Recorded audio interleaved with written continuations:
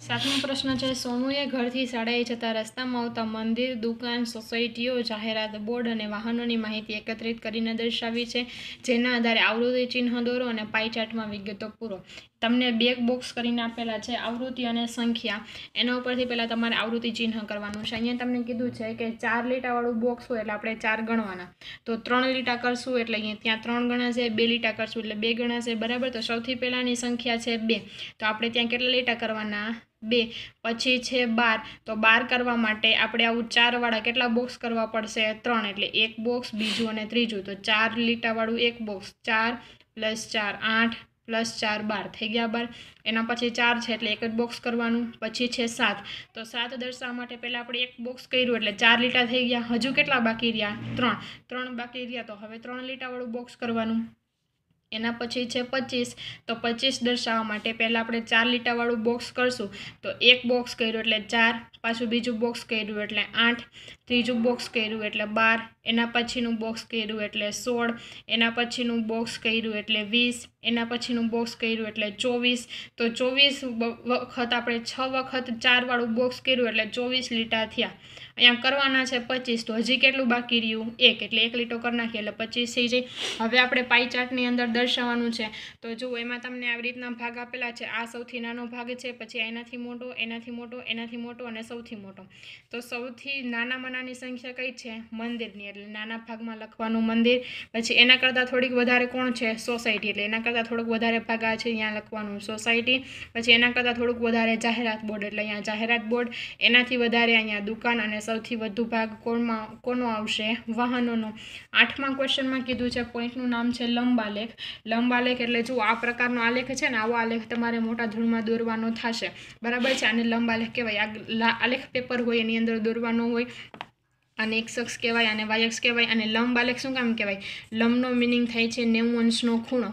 બરાબર છે? આ આલેખના જે બે અક્ષ જ્યાં છેદે ને ત્યાં નેવું અંશનો ખૂણો જ ફરજિયાતપણે બનતો હોય. એટલા માટે એને લંબ આલેખ કહેવાય. બરાબર છે? આઠમા પ્રશ્નમાં કીધું છે કે નીચે એક જૂન અને એક ડિસેમ્બરના રોજ પાંચ શહેરના તાપમાનનો લંબ આલેખ આપેલો છે. તાપમાન એટલે ગરમી. બરાબર છે? કેટલી ગરમી છે એનો આલેખ આપેલો છે? તેના પરથી માગ્યા મુજબની માહિતી માગ્યા મુજબ જે પ્રશ્ન છે એના જવાબ આપવાના છે.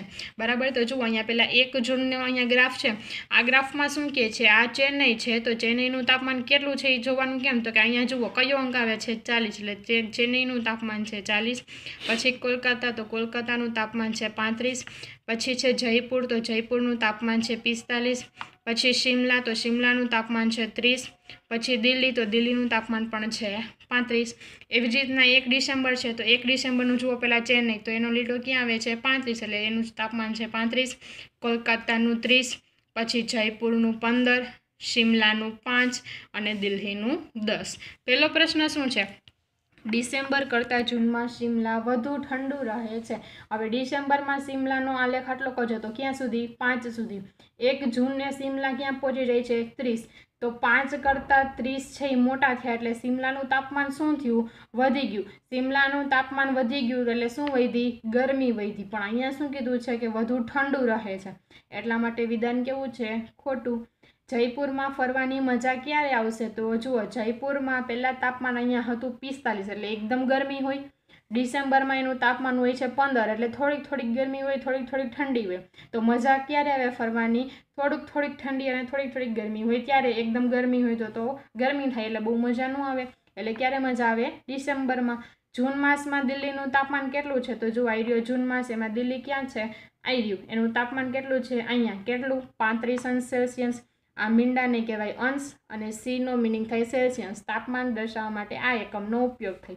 બરાબર છે? બહુ નાના છોકરાઓને શિમલા ક્યારે લઈ જવાય? તો જુઓ, ડિસેમ્બરમાં શિમલા એકદમ ઠંડુ હોય છે. જૂનમાં એકદમ ઠંડુ નથી હોતું થોડીક થોડીક ગરમી હોય છે. બરાબર? તો તમે સાવ ઠંડીમાં લઈ જાઓ, ત્યારે તો છોકરાઓ બીમાર પડી જાય. એટલે ક્યારે લઈ જવાય? જૂનમાં. એટલે ત્યાં જવાબમાં ઓપ્શન બી ચેન્નઈ અને કોલકાતા વચ્ચેનો જૂનમાં તફાવત છે સાત અંશ સેલ્સિયસ. તો જુઓ, જૂનની અંદર ચેન્નઈનું તાપમાન છે ચાલીસ અને આપણે બીજું કીધું છે કોલકાતા. કોલકાતાનું તાપમાન છે પાંત્રીસ. આ બેનો તફાવત એટલે બાદ બાકી તો ચાલીસમાંથી પાંત્રીસ જાય તો પાંચ અંશ. એટલે આ બંને વચ્ચેનો તફાવત છે પાંચ અંશ સેલ્સિયસ. અહીંયા કીધું છે સાત અંશ સેલ્સિયસ. તો વિધાન કેવું છે? ખોટું. છઠ્ઠો પ્રશ્ન, ડિસેમ્બરમાં સૌથી ઠંડુ શહેર કયું છે? તો ડિસેમ્બરની અંદર જુઓ, સૌથી નાનામાં નાનો ગ્રાફ કોનો છે? શિમલાનો. એટલે સૌથી ઠંડુ શહેર શિમલા. પ્રિયા તેના દાદાને ખાલી જગ્યા માસમાં દિલ્હી લઈ જઈ શકે છે, જેથી દાદાને ઠંડી ન લાગે. તો ડિસેમ્બરમાં દિલ્હીનું તાપમાન છે દસ અને જૂનમાં દિલ્હીનું તાપમાન છે પાંત્રીસ. તો વધુ ઠંડી ક્યારે લાગે? ડિસેમ્બરમાં લાગે. આપણે દાદાને ત્યારે લઈ જવાના છે કે જ્યારે ઠંડી ન લાગે? તો ક્યારે લઈ જવાના? જૂનમાં. એટલે અહીંયા ખાલી જગ્યામાં આવશે જૂન. પછી આઠમા પ્રશ્નમાં શું કીધું છે? કે કોલકાતા અને સિમલા વચ્ચે ડિસેમ્બરમાં ખાલી જગ્યા અંશ સેલ્સિયસનો તફાવત છે. તો ડિસેમ્બરની અંદર કોલકાતાનું તાપમાન જુઓ ગ્રાફની અંદર કેટલું છે? ત્રીસ છે.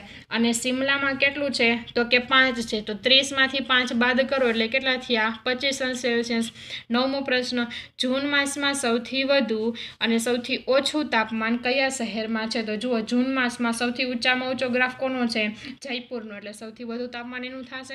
અને સૌથી નીચામાં નીચો ગ્રાફ કોનો છે? સિમલાનો એટલે સૌથી વધુ તાપમાન જયપુરનું અને સૌથી ઓછું તાપમાન સિમલાનું છે.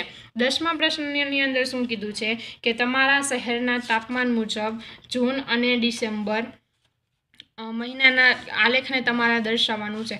તો હવે આપણે શું કર્યું? અમદાવાદ શહેરનું તાપમાન આપણે દર્શાવીએ છીએ. બરાબર? આપણે અહીંયા જેવો ગ્રાફ દોર્યો છે ને, એવો તમારે તમારી ખાલી જગ્યા આપેલી છે ને, એની અંદર દોરવાનો છે. બરાબર? શું કરવાનું? તો કે અમદાવાદ શહેરની અંદર જૂનનું તાપમાન છે, ચાલીસ અંશ સેલ્સિયસ ને ડિસેમ્બરનું તાપમાન છે, પચીસ અંશ સેલ્સિયસ. આપણે અહીંયા ગ્રાફ કઈ રીતના દોરવાનો છે? આપણે જ્યારે શિયાળો, ઉનાળો અને ચોમાસું આવતું હોય, ત્યારે જૂનમાં શું હોય? ગરમી વધારે હોય અને ડિસેમ્બરમાં ઠંડી વધારે હોય. કારણ કે ત્યારે શિયાળો આવી ગયો હોય. બરાબર છે? એટલે જૂનનો ગ્રાફ આપણે ઊંચો રાખવાનો અને ડિસેમ્બરનો ગ્રાફ એના કરતાં થોડોક નીચો રાખવાનો. કેટલું છે ડિસેમ્બરનું તાપમાન? તો કે પચીસ. એટલે પચીસવાળો લીટો જ્યાં છે ને, ત્યાં જ તમારે આવી રીતના આમ લીટો કરીને આમ ગ્રાફ દોરવાનો અને જૂનનું તાપમાન આપણે ચાલીસ રાખ્યું છે. તો ચાલીસવાળો લીટો છે ને, ત્યાંથી જ આમ રાખીને તમારે આવી રીતના આમ ગ્રાફ દોરવાનો. બરાબર છે? તો આવી જ રીતના આખો ગ્રાફ દોરવાનો છે.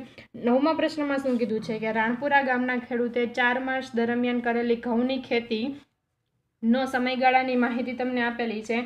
એના ઉપરથી તમારે પ્રશ્નોના જવાબ આપવાના છે. જુઓ, શરૂઆત છે, બરાબર છે, એ શરૂઆત ઝીરોથી થાય છે, એટલે ત્યાં કંઈ છોડની ઊંચાઈ શરૂઆત હજી વાવેલા જ હોય, એટલે છોડની ઊંચાઈ જરાય વધતી નથી. પછી પહેલો માસ આવે છે ત્યારે છોડની ઊંચાઈ કેટલી થઈ જાય છે? આઠ સેન્ટીમીટર. જુઓ, પાંચની અને દસની વચ્ચે છે અહીંયા લીટો.